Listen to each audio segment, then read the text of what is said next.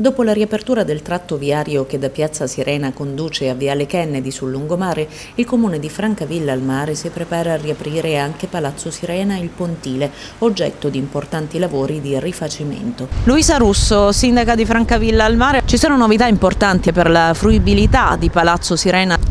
Sì, a breve riaprirà al pubblico perché adesso sono accessibili le vie, le vie di ingresso e le vie di fuga, quindi potremo usufruire dell'Auditorium Sirena e quindi tornare anche ad avere qualche spettacolo o incontro nel Palazzo Sirena. Da quando esattamente? Immagino fine mese di gennaio, primi di febbraio. E ci sono anche lavori che partiranno presto al Pontile?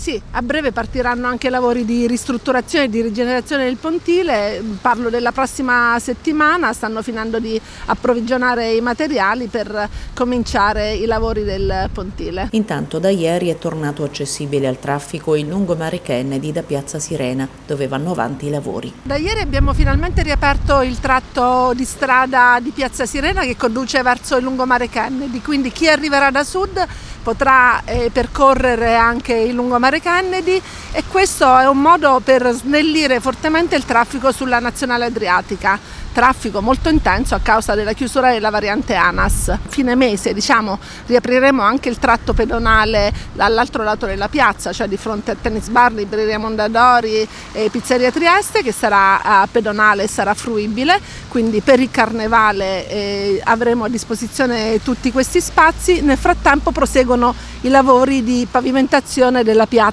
di fronte al palazzo e proseguono i lavori di ristrutturazione del palazzo. Importante novità anche da lunedì per il trasporto pubblico. Da lunedì la linea Tua il numero 21 ricomincerà col suo percorso oh, tradizionale a, sul lungomare, quindi non più sulla nazionale ma sul lungomare. Quando finiranno i lavori di Piazza Sirena? Ipotizziamo di concludere i lavori del palazzo verso la fine di marzo e quindi a seguire la pavimentazione a ridosso del palazzo non può essere completata bloccata fin quando c'è il cantiere del Palazzo Sirena. Un altro argomento importante per Francavilla al Mare, sempre continuando a parlare di viabilità, è quello che riguarda la galleria San Silvestro sulla variante ANAS. Come ha detto, ha scritto più volte agli enti preposti, le hanno dato risposta sui tempi di una possibile riapertura?